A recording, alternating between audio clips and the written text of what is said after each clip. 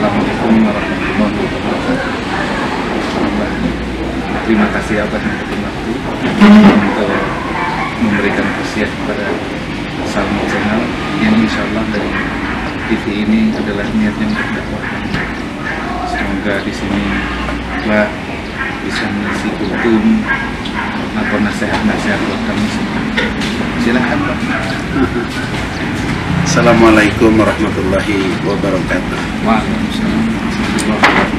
Eh, kebahagiaan dan kemuliaan umat manusia bukan pada harta dan kekayaan, bukan pada pangkat. Betapa Allah tidak adilnya kalau kebahagiaan dan kemuliaan itu Allah letakkan pada harta dan kekayaan, pada pangkat dan hanya berapa orang yang punya harta kekayaan? Dan hanya berapa orang yang punya pangkat kedudukan.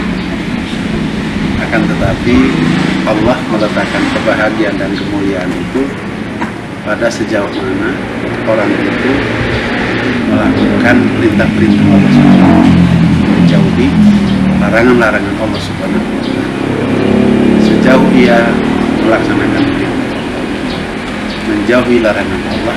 Sejauh itu Allah akan datangkan kebahagiaan Allah akan datangkan kemuliaan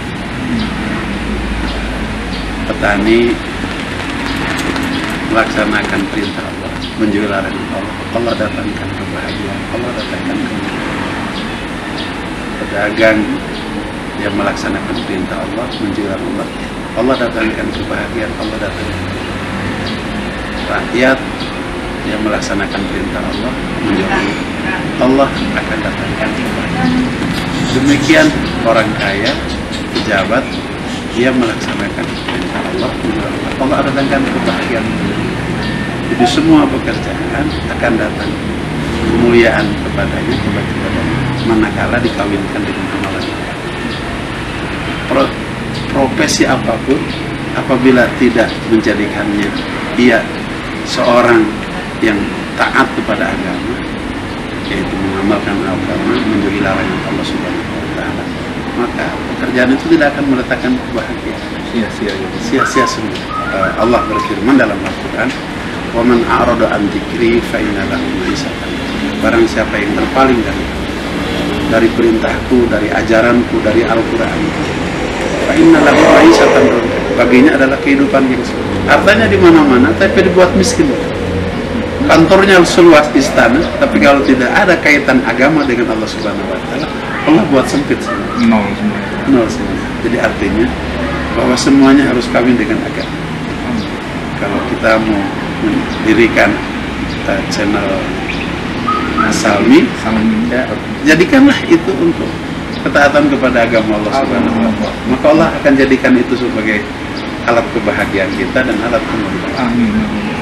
Allah berfirman dalam Al-Quran wa ma yuti'illaha wa rasulahu faqad faza fawzan azim barang siapa yang taat kepada Allah taat kepada Allah, maka benar-benar Allah akan datangkan kebahagiaan besar dunia dan demikian Assalamualaikum warahmatullahi wabarakatuh Pemirsa TV yang beriman, hari ini Alhamdulillah betapa dalamnya Abah Raul memaparkan tentang agama Islam. Jadi ingat sahabat bahwa kita hidup di dunia ini hanya bersembahyang atau menyembah kepada Allah Subhanahu wa taala. Terima kasih, sampai ketemu kembali. Insya Allah di lain waktu kita akan bertemu lagi dengan Abah Robo. Assalamualaikum warahmatullahi wabarakatuh. Waalaikumsalam